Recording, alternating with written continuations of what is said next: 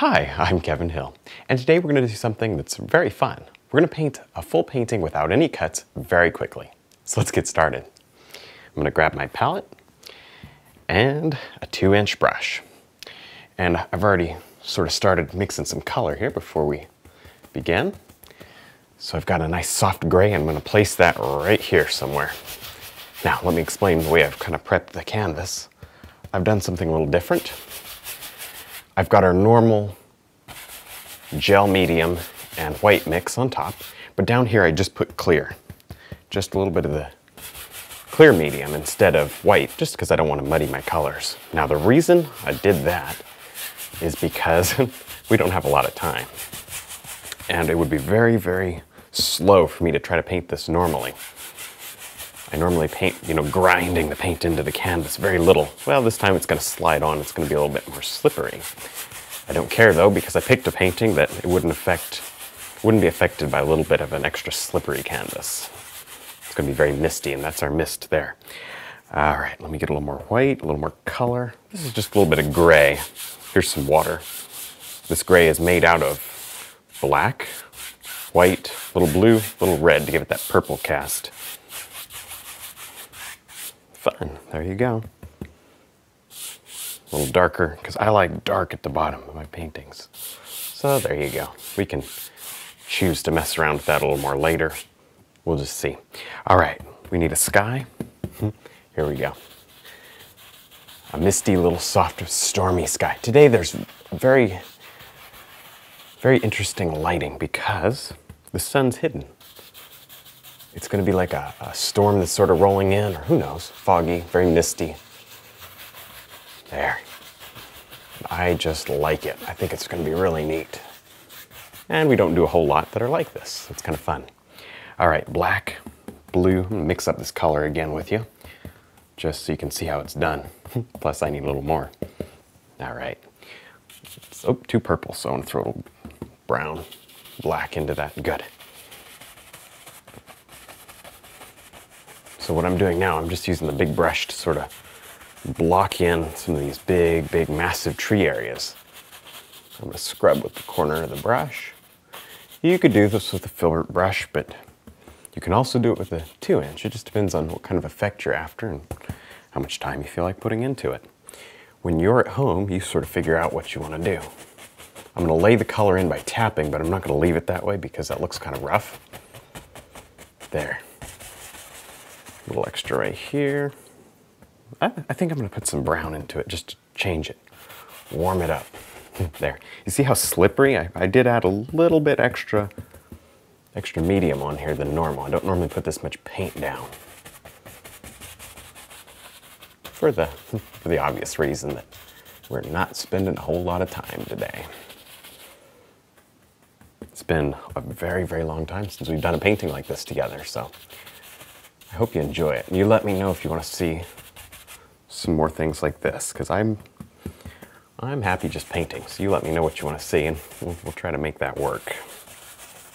All right, let me set this down and grab something else. What do you think? Maybe a filbert brush? we couldn't get away with painting trees without a filbert brush. You know it's one of my favorites. I'm just going to sort of soften them. You see it softens out very quickly. I'm softening those little hard areas. I Don't want any specks on there, so I'm going to grind those into the canvas. All right. Tell you what, let's paint in yellow, white, mostly white, touch of yellow, maybe a little more yellow. Let's see what this does for us right here, I'm just gonna tap in in a couple of little layers here, and I'm just gonna kind of spin the brush in my fingers. That'll give me a better effect than just stamping it on like a rubber stamp. There we go. And maybe I want to color over here. Not much color, or you'll lose the effect of mist. Over here something, but we might have some trees over there, so I'm not gonna worry too much about that. This is how you make a beautiful misty background. Just a couple of brush strokes. There. Grab a, a two inch. Now, today it's more important than ever that we have tons of brushes going. In fact, I even have a couple extras beyond my normal set that I use when we paint together. So that way I'm, I don't have to I don't have to use a brush that I don't want to, something that's maybe too dirty for what I'm trying to do. I'm gonna step back and see if I like it really quick, because you guys have a better view than I do. You get to see my painting a little easier than I can. And if you've painted, you know exactly what I mean. Hard to see it when you're close up. There, I'm playing around in the background because the background is so fun. There. I'm gonna leave the brush strokes in there, the rest of them. All right, let's go ahead and just map out this painting. A little bit of our gray, a little white, and what do you think? Maybe right here? There. Okay, that's too dark. Too dark still. There we go. I just barely want to be able to see that. Get a little bit. There we go. Perfect. And down here, I'm just going to smudge a reflection. Very good. That's to go right off. And we can raise up a couple bushes. Obviously, you don't want a hard line there. So that's like a distant little piece of land. And a dark, a dark line to separate. Always makes things a little nicer. Okay, let's do something else. Let's paint in, well, let's scrub this area in maybe. Let's just get that covered so we're done. Let's paint in some trees. So I got my darks, and I'm gonna start out a little bit on the misty side, so let's see what this does for us. There's the base of the tree. Now, let's go, hmm, let's go darker, because I like the contrast. So you put on the canvas, you decide if you like it. If you don't, change it. Nobody's going to care. Why worry about it? Okay, there's one. And maybe we got a, a, secondary one right here. And this one's pretty huge. Look at that. I like that big one there. I want to thicken this one up just because I like my trees thick sometimes. Okay, wipe that brush out. Let's reload it, bring it to a chisel, and whoop, here we go. a big old limb that sticks out like that. And now because we don't have much lighting today, there's another one. We don't have to worry too much about where this tree would be highlighted because there's not really a great amount of highlight anywhere. There's no intense light or anything like that in this painting today, but it doesn't mean it's not somewhat lit. So we do need to figure out where the lighting's coming from. Maybe it's just slightly coming across like this. So wipe out that brush. I'm gonna pick up a filbert that's clean and I'm gonna run it along. well, that didn't work too well, did it? I was thinking maybe I could lift off some of that paint, but it stained the canvas pretty good. So let's just mix up a little brown, white. Let me show you what I'm doing. Brown, white, and gray. Oh, there we go. So if your first plan doesn't work out, just change to your next plan. Eventually something will work for you. That's what I do. It's just about experimenting. So don't feel bad if something doesn't work. Just say, well, that didn't work, and, and move on. Figure out a different way to get the same effect. When I looked at this tree, I thought, well, maybe I'll just sort of try to lift off some of the paint. There's a little, little dead branch there. But that didn't work, so we just, we just roll with it.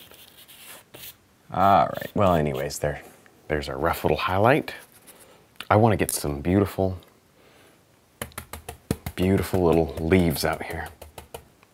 Red, yellow, black, brown, touch of our purple. There we go. And I'm just gonna smash them in because they're kind of distant leaves and I want them a bit misty. Just right here, maybe a bit up in here, like that. I'm, I'm smashing them in with the edge of the brush there. And you can highlight them. Watch this. Get a lot of beautiful color. Well, maybe that's a little bright. I'm gonna just dull that down a little. Get some color out on there. So you can highlight with this brush. I don't do it normally, but you can. It's very fast.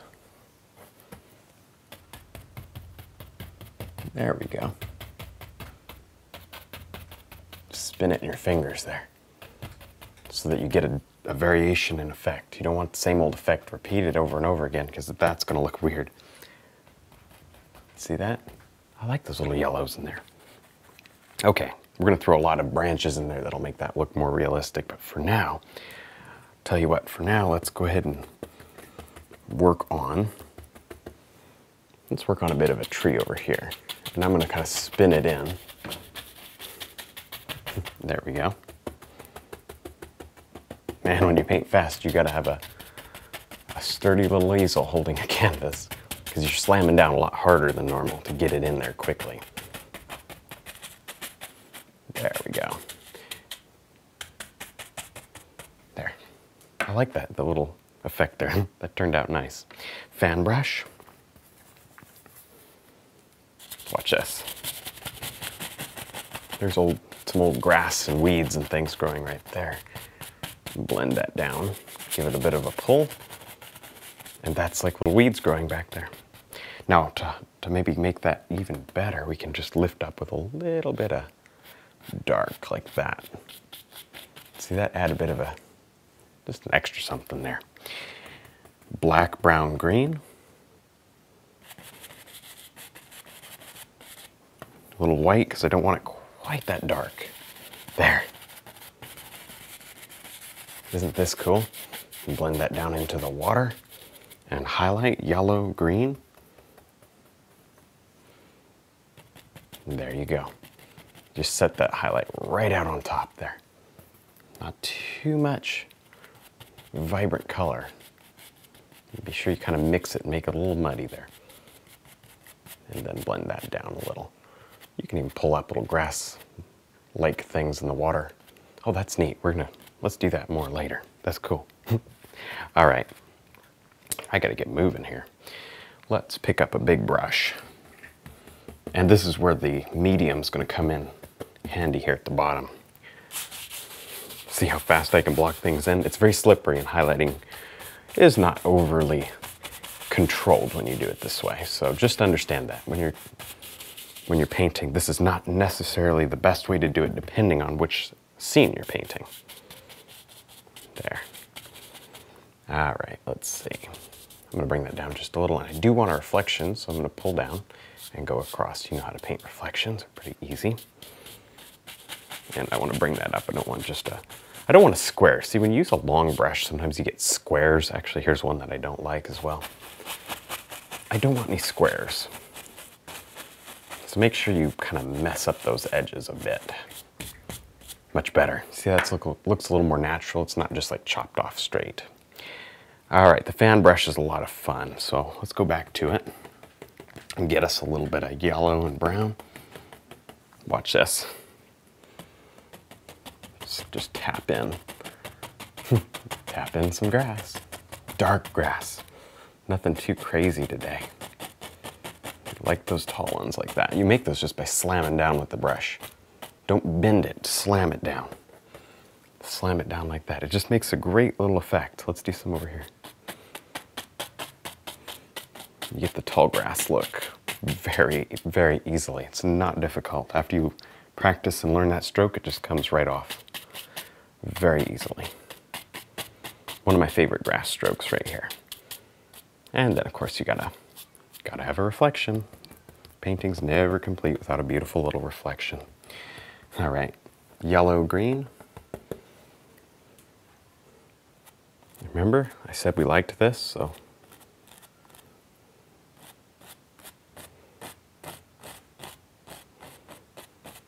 There we go. Pull that down. And don't worry, we're gonna add different colors.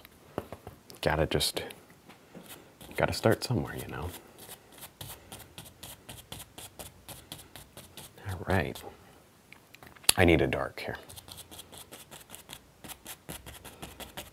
Gotta have a dark there. Gotta have some sort of contrast in this one. And then I want a dark under here and then a dark in the reflection. You see I'm slowing down just a bit to make sure I kind of got this the way I like it. Blend over that and creating a little bit of a ripple there in the water just by blending like this. See those dark lines create the ripples and the shadows in the water? I like that. I'm to gently do that back here as well. There, let's maybe blur that just a bit. Nice. That just sort of adds a little bit of movement to the water there. Now, of course, I mess this area up. I'm going to come back and just whoop, fill it back in.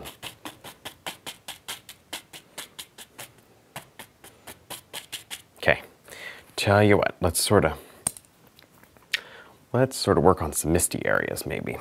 White, one inch brush. And these trees need to float in the mist a little more than they are. See how they just sort of lose them back there? That's cool. That's really cool. I like that. That's fun. I wasn't sure how we were going to plant those trees, but there you go. Well, let's make that a misty bush, because why not? Look at that.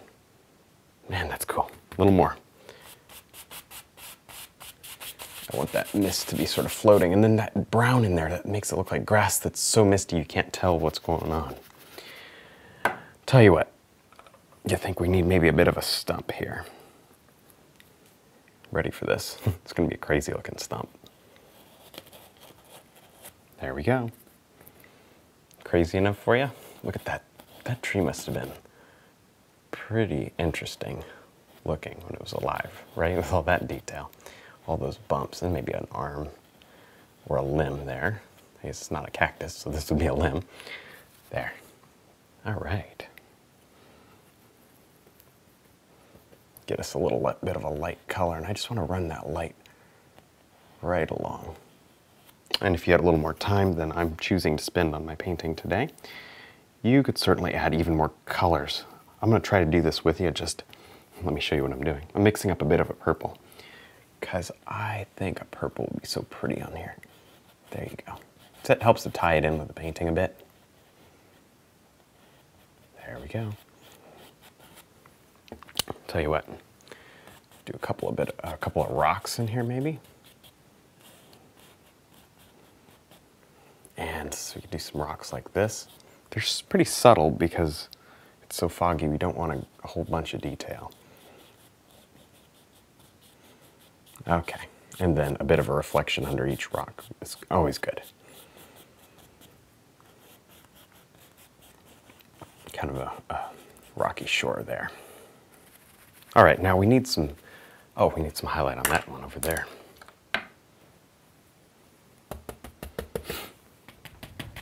There you go, just a bit, because remember the light's sort of coming across, but this could catch a bit. Not much, just here and there, and that's probably enough. I want some, I want some liner brush work before we quit. Liner brush, some, well, let's go for some dark paint first, just because we can. And let's bring up some of these dark grasses because this is going to give us some contrast. There we go. There we go. This is fun. I like this liner brush. It goes forever. And the harder you press down, the larger the grass blades are going to be. I'm to thin this paint down just a bit.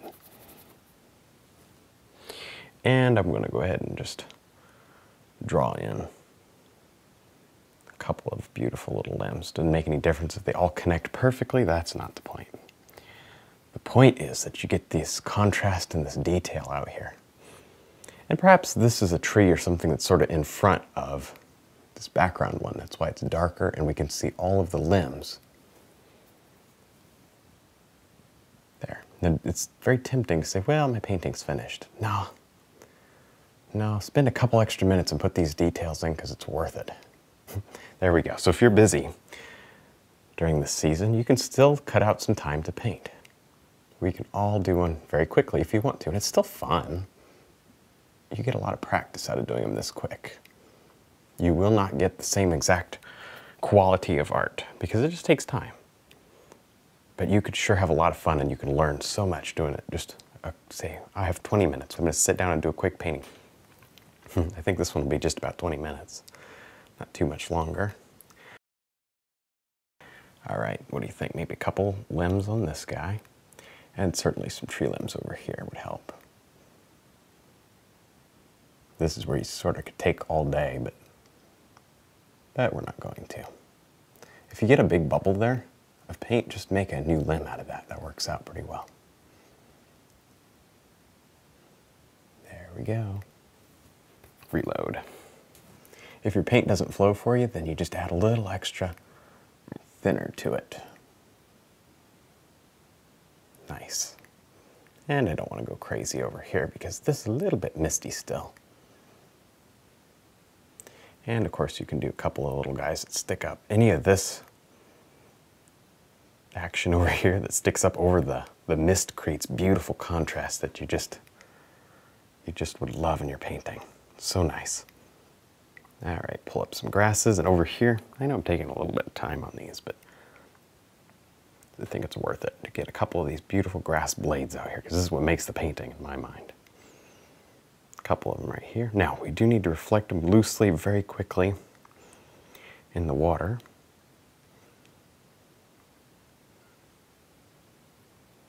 Very quickly.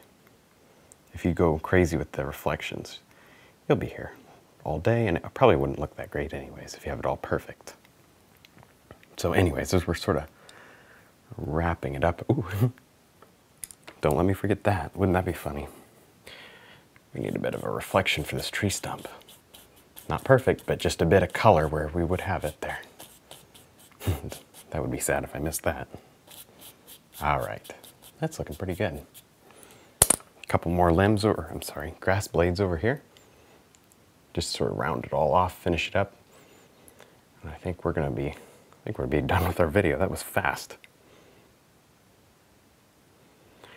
Well, I hope you had a lot of fun. Let me know if you want me to do some more of these. And thanks so much for watching.